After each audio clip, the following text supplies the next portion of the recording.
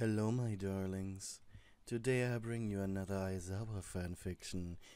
I hope you enjoy it just as much as I enjoyed writing it. However, before we dive right into it, I would like to remind you that I have a merch store and a Patreon. However, there's the case that you uh, might not be able to donate any real money. In that case, I would like to ask you to watch the video until the end, like or dislike it, and comment something down below. Anything really. This way you can ensure that YouTube, in other words Susan, pays me. Lastly, if you're new here and you think I'm worth it, please hit the subscribe button and join my beautiful, darling doll army. Now please enjoy the show. Life wasn't really nice to you. Somehow, you had found yourself in a rundown apartment with cheap furniture your grandma would call tacky. A closet filled with unmatching second-hand clothes, and horrible neighbors who, even though they could not spell the word hypocritical, would perfectly fit into a dictionary description of that word. Of course, you yourself weren't the image of perfection either. Your ex-husband was a violent sociopath. You were warned by pretty much everyone to not go with him. But there was this nagging, unconscious feeling deeply hidden inside you. A sadness. A wish. The wish of utter self-destruction. In truth, you just wanted the right excuse to end it all. Because of this, you were diagnosed with depression, social phobia, and other things that had long names attached to them. In these days, the only contact you really had were the local cat population. Your quirk, ironically called Cat Lady, allowed you to manipulate the behavior of felines through the use of music. This included singing, humming, and the use of music instruments. The louder, the more cats would be attracted. While this quirk would have some uses in the world of heroes, your parents could not afford the higher education necessary to further your ability to anything useful. However, your dad had owned an antique shop that had an old piano in it, which he had given you lessons on until he eventually managed to sell it when you turned 12. It was also in this apartment you had taken a handful of the pills your therapist had prescribed. And also this apartment you had returned a few months later after a long and tedious hospital stay. After returning home, you decided the first thing you needed to do was play your piano. It had come with the apartment. Some keys didn't work and some were outright missing. But it was actually the reason you were interested in the property to begin with.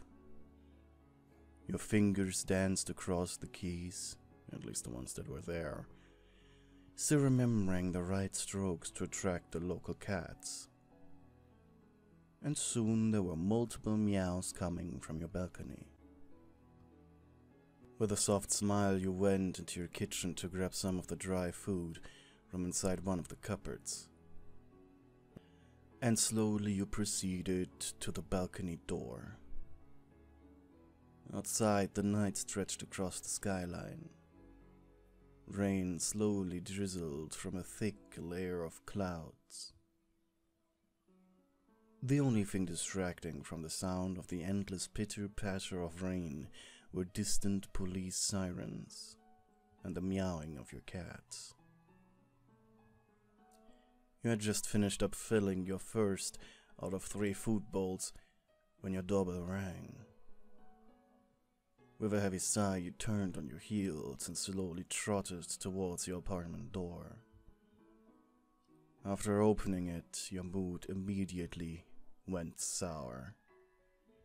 In front of you stood Akira, the sleazy guy from the apartment in front of yours. He was wearing his signature cheap leather jacket, open, no shirt under it. At least this time he was wearing underpants. From his open door, you could just barely make out the silhouette of a very skinny woman was rubbing her naked body all over his furniture. Akira was a somewhat known drug dealer. Too small for the police to bother with, but big enough to have a bunch of coked up girlfriends who would pay him large sums for whatever he was selling that day. His unnaturally handsome face was distorted into an angered form. Are you out of your fucking mind? He bellowed. With each passing word, his voice got louder. We'll had it with you and your bloody cats! By now, he was getting so loud, even the coked up bimbo in his flat stopped moving for just a split second. Usually, when seeing the guy's face, your body filled itself with anxiety. But something was different. Maybe it was your near death experience, but anger bubbled up inside you. In a calm voice, you retorted, If you don't change your tone right now, you'll be going back to your whore with a broken nose. Don't you dare tell me about my fucking tone! After all, if it's okay for you to play that fucking piano of yours in the middle of the fucking night. Once again, you couldn't peel your eyes away from the girl in his flat. She seemed to have found a bag of regular baking flour and was right now snorting it through her nose, cackling like a little girl who stole her mother's cookie jar. Do you think anybody cares about your stupid cats? They're a nuisance. Your mental barrier was faltering, you could feel it. If you didn't disarm this situation, you would be faced with a mental breakdown. You just knew it. You quietly inhaled and then shouted, Go fuck yourself, Akira! before slamming the door into his face. Your heart felt like it would jump out of your chest, and you sank down on the ground. Your back pressed against the hardwood door. Next time I will call the pest control! You heard his muffled shout, before a loud bonk indicated he went back to his unfinished business. And soon, loud dubstep music echoed from the hallway.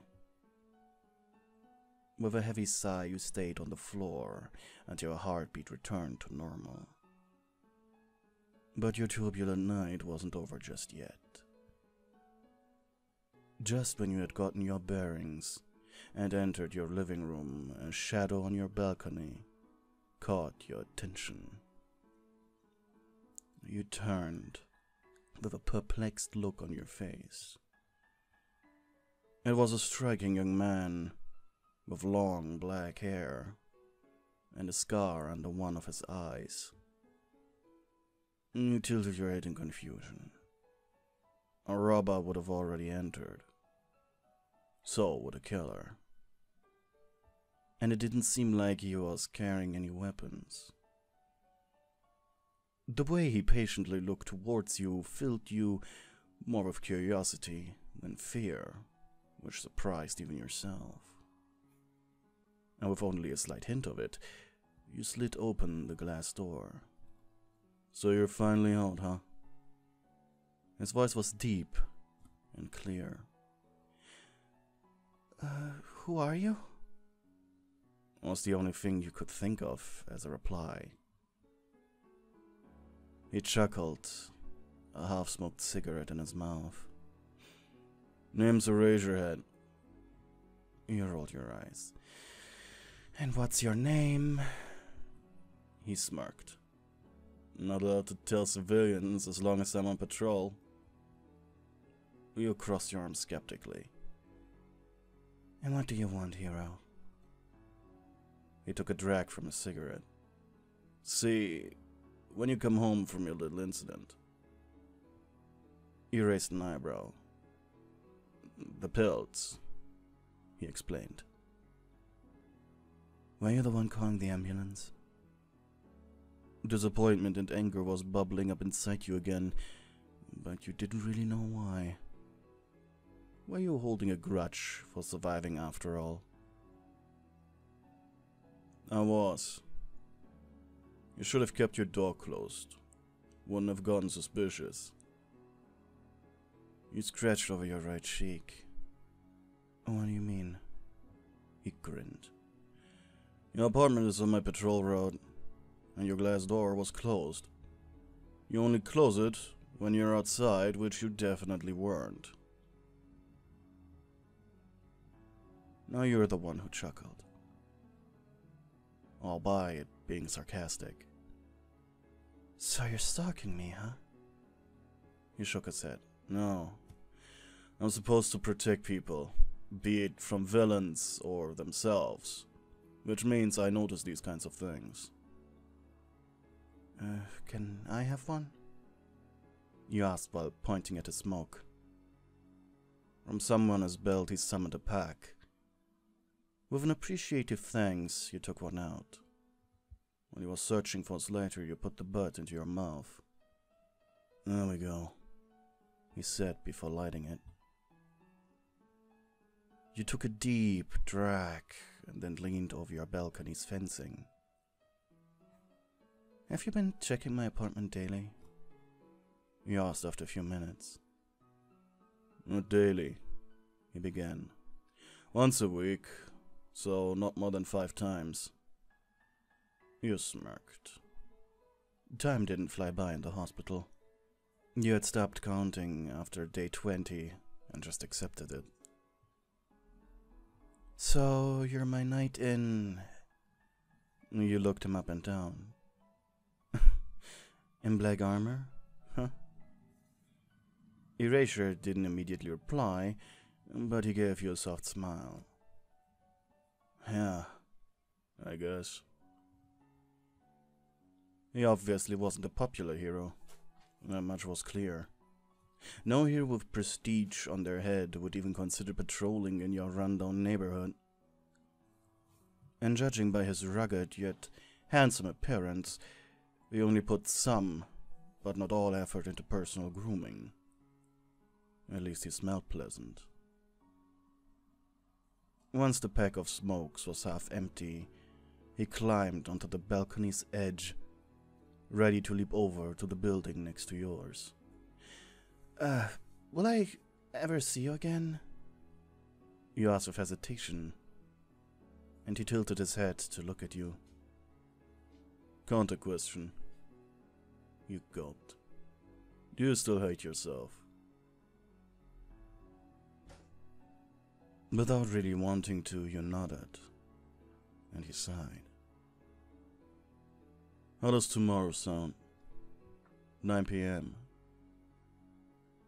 He gave you a cocky smirk. Why not have a snack ready? Uh, also wouldn't mind some chicken tenders. Bye. And with that he jumped. You looked after him as he climbed up the other building's wall onto the roof. And you smiled. Guess I got a date now. You said to yourself still in awe of what just happened.